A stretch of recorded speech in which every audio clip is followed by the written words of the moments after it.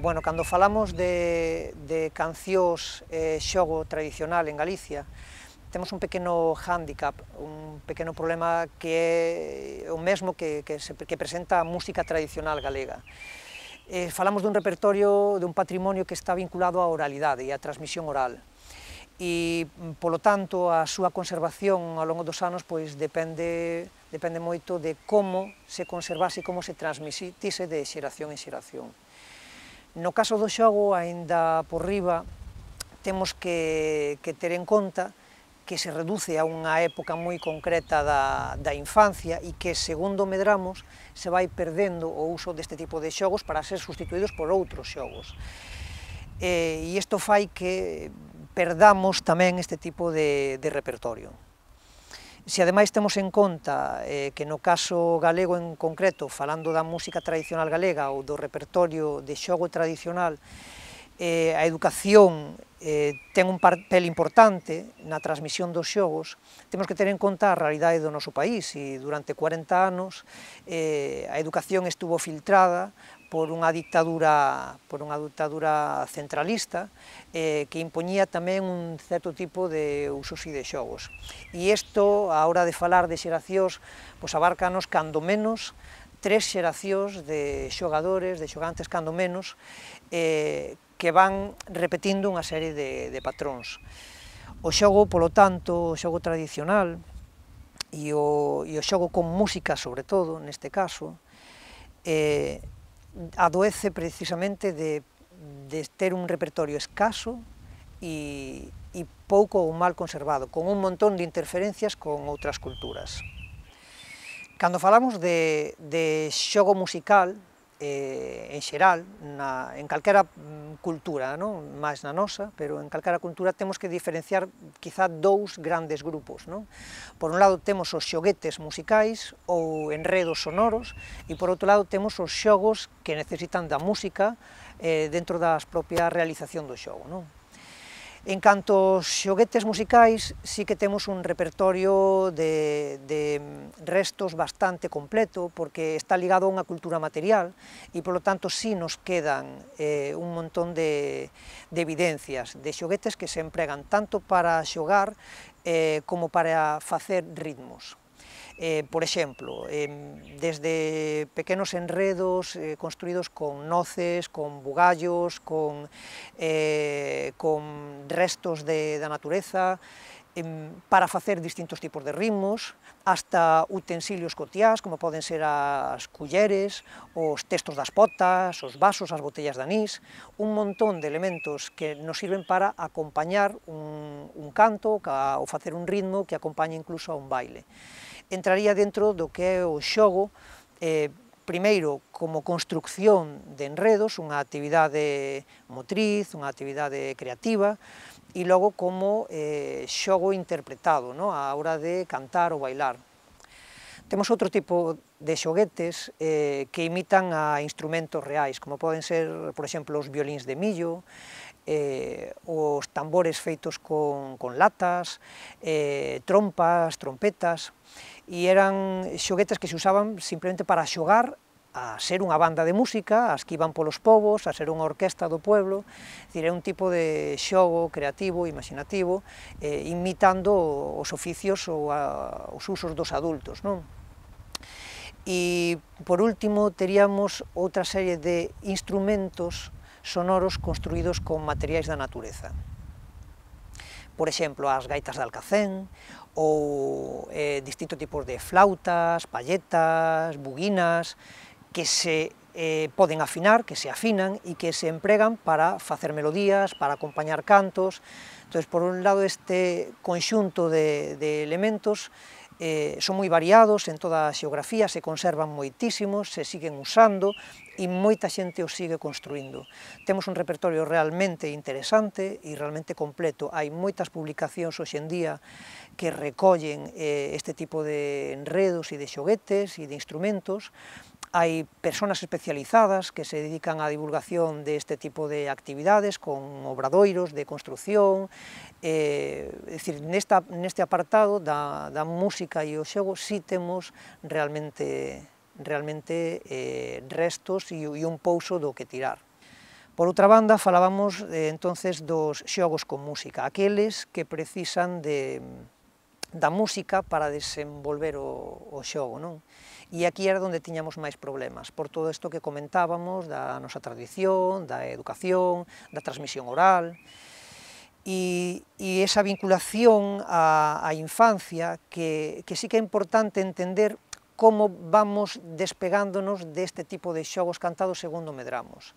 O primeiro tipo de xogo con música que, que podemos identificar son prácticamente os berces, os arrolos, pero son xogos nos que o neno, a crianza non xoga, é, é o propio adulto que interactúa, aínda non pode facelo eh, son xogos con melodías moi sencilliñas que buscan a tranquilidade, a confianza, buscan a, a seguridade, o afecto. Non?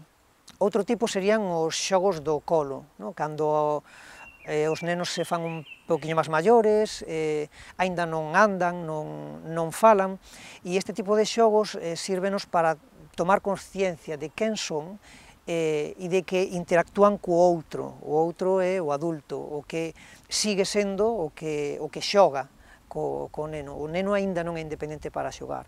Tipos de xogos do, do colo son xogos como eh, outou por outou, non? para facer cóxegas, para buscar sustos, para eh, aprender as partes do corpo, non? o este ollo pimpilín, eh, eh, parte, xogos para eh, interactuar co adulto, o, o aserrín, ou, ou os balanceos, entonces son, mm, nevan unhas melodías asociadas eh, e unhos ritmos que se van reproducindo e que, segundo vamos avanzando cara a unha idade un pouco máis independente, pois se van perdendo tamén en favor de outros xogos, non?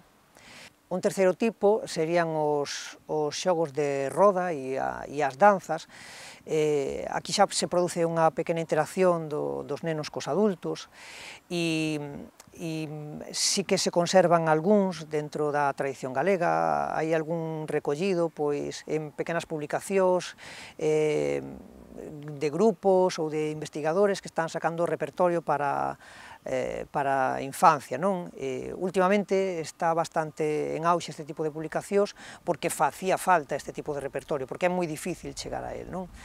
Eh, as cancións de Roda conservamos algunhas pois, na zona do sur de Galicia, na zona da Costa da Morte, eh, e é verdad que moitas das cancións eh, nos viñeron de fora, precisamente polo que comentábamos no? da, da educación centralista que tantos anos eh, permeou o, o uso do xogo e da, e da educación no, no noso país. Non?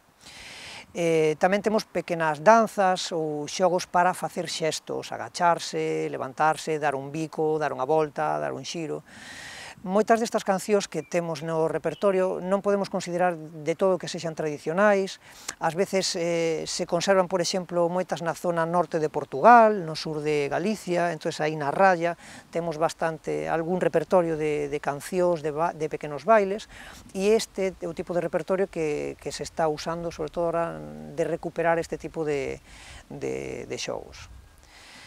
Nos últimos anos, eh, a través das actividades da asociación, sobre todo das actividades de formación de profesorado, de formación de monitores de ocio e tempo libre ou en cursos de distinto tipo que, que temos feito, si é certo que notamos unha demanda eh, por parte do profesorado de este tipo de, de materiais e de repertorio eh, en xeral non é moi conocido porque non hai moito, porque é escaso e porque é difícil acceder a él eh, é difícil acceder ao noso patrimonio oral, porque non está recollido, e hai poucas iniciativas. Ben é certo que nos últimos tempos teñense dado diferentes iniciativas desde eh, asociacións, eh, desde mm, algunhas institucións, como pode ser o Museo do Pobo Galego, que está digitalizando distintos arquivos sonoros, eh, publicacións de grupos de música infantil ou de investigadores que teñen este tipo de repertorio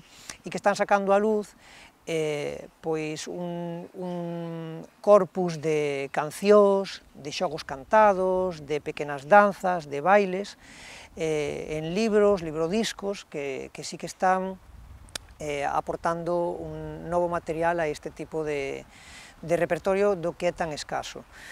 Entón, eh, o, o que temos a partir dos o que coñecen os profesores pro, propiamente, eu creo que é un repertorio escaso eh, si pensamos no que é a tradición eh, do xogo galego. E é algo que nos demandan constantemente. Que podemos facer para recuperar e fomentar o uso deste tipo de repertorio?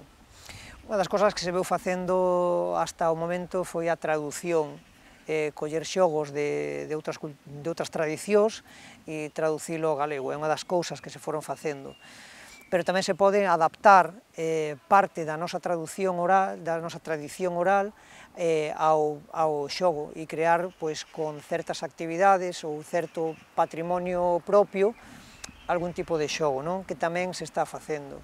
Non porque sexa difícil acceder a este tipo de repertorio, temos que deixar de intentar implementalo e facer un corpus estable cos recursos que teñamos a, ao noso alcance. Alguns van a ser recuperables, outros vai haber que eh, adaptar ou incluso eh, crear novas, novos xogos a partir do, do noso patrimonio. O que sí é importante ter en conta é que debemos explotar a potencialidade da nosa música, da nosa tradición, eh, e a iso sí que podemos acceder eh, como base para o xogo. Poño un exemplo, eh, o Tantarantán, unha cantiga seriada e numerativa, é un tipo de, de xogo memorístico, Tantarantán para onde vas bella, Tantarantán leva a súa melodía, non? E leva un ritmo moi concreto, que é un ritmo de, de muiñeira, que é moi natural para nós, e que é unha melodía que pode usarse para aprender un picado, para aprender un movimento, e como, como este hai centos de exemplos de, de cancións e melodías dentro do noso patrimonio eh, que poden ser empregadas eh, como base para, para o xogo, para o xogo de roda, para o xogo de, de corda, de salto, para un xogo de, de movimento, para unha danza, para un baile. No caso dos nenos, mm, me preguntaba si, si os nenos coñecen este repertorio. Estamos no problema xeneracional. Non? Eh, falamos de repertorio oral, de transmisión oral e de un cambio xeneracional. Estamos en outro momento no que os espacios teñen cambiado, os usos teñen cambiado, o momento para o xogo ten cambiado e a escola en este espacio, en este, en este contexto, ten ten unha responsabilidade de cara ao xogo. E, moitas veces a xeración dos pais xa perdeu certo, certos xogos e, e creo que é responsabilidade da escola manter eh, parte da nosa cultura e dar a coñecer. Igual que en un determinado momento a escola foi capaz de crear unha serie de usos e xogos, eh, temos que ser capaces tamén de, recuperar e manter o noso patrimonio a través do xogo.